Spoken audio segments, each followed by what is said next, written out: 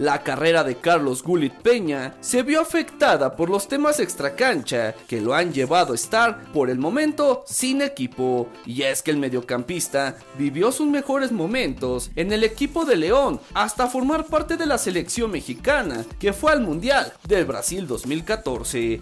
Pero ahora volvió a robarse los reflectores debido a que circula un video en el que se observa bebiendo alcohol directo de la botella, lo que ha generado todo tipo de comentarios.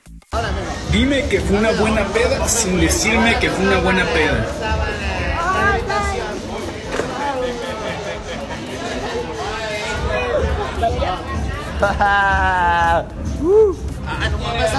En el video se observa como un aficionado porta una botella de tequila y le sirve directamente a la boca del jugador. Las imágenes han creado indignación de algunos seguidores, quienes lamentan que el Gullit aparezca así, pues son bien conocidos sus problemas de alcoholismo, a pesar de que en algunas ocasiones negó que se le haya visto bebiendo. Carlos Peña fue bicampeón en la Liga MX con el equipo León, siendo una pieza clave del equipo, pero a raíz de la lesión de su amigo Luis Montes, previo a la Copa del Mundo del 2014 y su participación en dicho certamen, su carrera se fue en declive. Ha militado en equipos como Chivas, Cruz Azul, Rangers de Escocia, Necaxa, Correcaminos, El Faz del Salvador y Antigua de Guatemala. Actualmente, a sus 31 años, se encuentra sin equipo.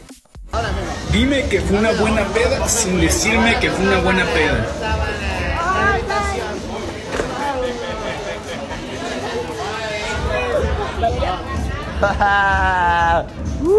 I, don't know.